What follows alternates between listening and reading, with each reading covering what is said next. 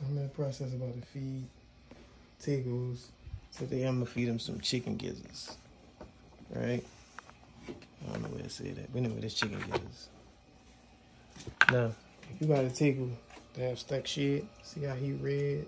He, he good. See how? She have stuck shit. It look like cloudy. She have she's struggling right now, stuck shit.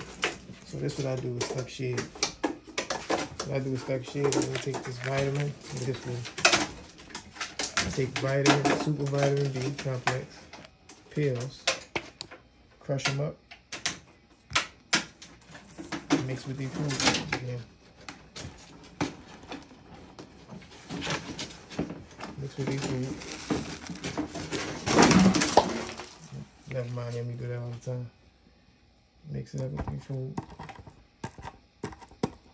I can't keep the hell focus.